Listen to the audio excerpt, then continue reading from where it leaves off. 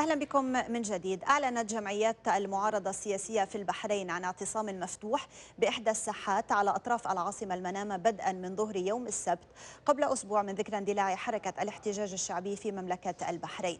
قالت الجمعيات أن الاعتصام سيقام في الساحة الرئيسية عند مدخل منطقة المقشع شرق العاصمة المنامة لمدة أسبوع. كانت المعارضة البحرينية قد طلبت بالمزيد من الضغط التولي على السلطات البحرينية التي اتهمتها بعدم الالتزام الالتزام بتوصية تقرير انتقد وضع حقوق الإنسان في المملكة العام الماضي. كان الألاف قد شاركوا في مسيرة مناهضة للحكومة في العاصمة المنامة أمس طالبوا خلالها بالإفراج عن السجناء سجناء سياسيين وبإجراء إصلاحات سياسية. كما رددوا شعارات تطالب بالديمقراطية وتندد بالديكتاتورية. للمزيد حول هذا الموضوع ينضم إلينا عبر الهاتف من الملا من المنامة عبد الجليل خليل رئيس كتلة الوفاق في البرلمان المستقيلة. أهلا بك سيد عبد الجليل إلى العالم اليوم. ماذا تأملون من هذا الاعتصام المفتوح؟ الاعتصام يأتي أساسا للتأكيد على المطالب السياسية التي رفعتها الانتفاضه منذ 14 فبراير. هناك إصرار على أن تكون هناك مطالب ديمقراطية حقيقة آه، يجب الوصول إليها آه، الشعب انطلق منذ 14 فبراير ورغم القتل والتعذيب والفصل وهدم المساجد مصر على أن يكون له مشاركة حقيقية في صناعة القرار. الناس تريد حكومة منتخبة بدل حكومة معينة منذ 1971 لم يشارك فيها. وتريد مجلس منتخب بغرفة واحدة بدل أن يكون هناك مجلس آه، منتخب صلاحياته منقوصة وعليه مجلس معين له صلاحيات أكبر. وتريد أن تكون هناك انتخابات مبنية على دوائر عادلة صوت لكل مواطن.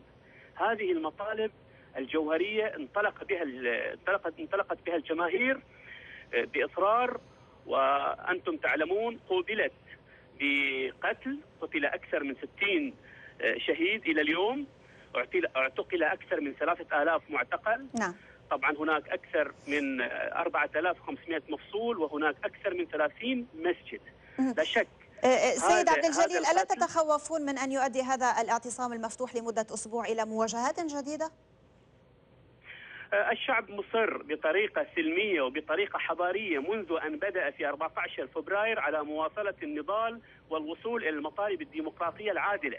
لابد نحن نصر المخرج الديمقراطي والمخرج السليم هو عبر الحوار الجاد من أجل أن نخرج من هذه الأزمة لا بالقمع ونحن نخشى مع مرور مع قرب ذكرى 14 فبراير أن يستخدم نفس الأسلوب الفاشل وهو أسلوب أمني اعتمد على الأسلوب الأمني في معالجة المشاكل.